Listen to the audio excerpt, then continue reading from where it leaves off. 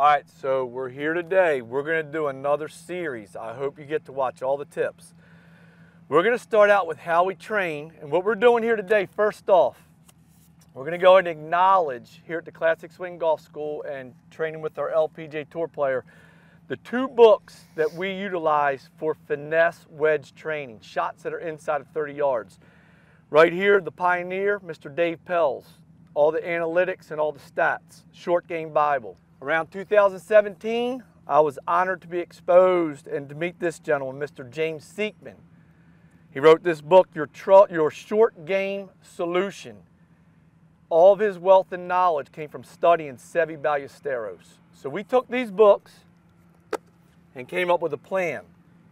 We use this book to design our plan so it's organized. And we're going to start with showing y'all one of our training tools, which is called block training. So Haylee, just real gentle, like if you're out there on tour with Reed, you had 30 minutes to do some short game work around the green, and you're like, I need to do some trajectory work, I need to do some landing area work.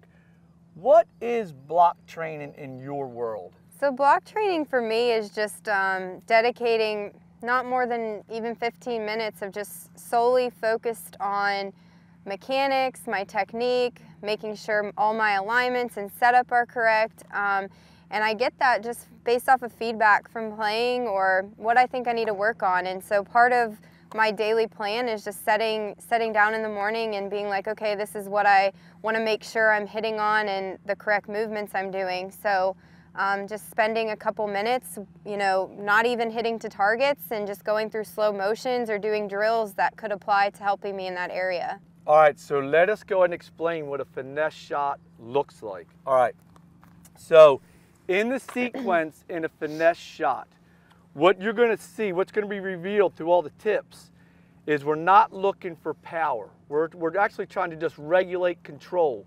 So it's going to be a lot more, a lot more of an arm motion where the body's just supporting the motion. Okay, here's the research that they found out. In a power move, they know that in the sequence, the hips are the power generator. When we're doing a finesse wedge, the lower body is just supporting and stabilizing. So it's a lot more arms with the upper body just carrying the arms to the finish. Why don't you make a couple right arm only swings Terminology you've probably heard from the past from classic swing instructors doing tips when we're uh, doing a chip shot around the green is shake, toss, and turn. So in a shake, toss, and turn world, what Haylee's doing in the backstroke is she's just kind of letting her right hand rotate to open the face of the club. But in the downswing, she's tossing and throwing the club head. So in a finesse shot, the club head in the downstroke begins to move first. The hips are not moving first. The shoulders are not moving first. The, the right arm is actually beginning to release that club head first. And I'm to give you just a simple picture.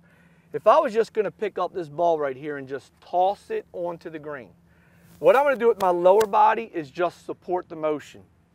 My right arm is going to toss the ball. My shoulders aren't tossing it. My arm's going to toss the ball, but then my shoulders are going to help carry my arm into the finish. Okay, so let's go over the setup here real quick. So with our alignment sticks, the orange alignment stick is our line of flight. You're gonna notice the purple alignment stick, it's slightly open. So Haylee's toe line is open, her chest and shoulder line are open in a finesse shot relative to the target line. What she's gonna do in the setup here is she's gonna put about 80% of her pressure forward of the golf ball. The golf ball is slightly back of center, so this is our ball position stick, our flight line stick, and our stance line stick. With 80% of her pressure forward, she's just gonna throw the orbiting club head and let her body flow to the finish. We call this throw and flow. So the finesse shot wedges you're gonna see here is gonna be support from the lower body, a lot of arm motion, shots inside of 30 yards where the chest and the shoulders carry Haylee right into the finish. This is one of our favorite drills here because it teaches release.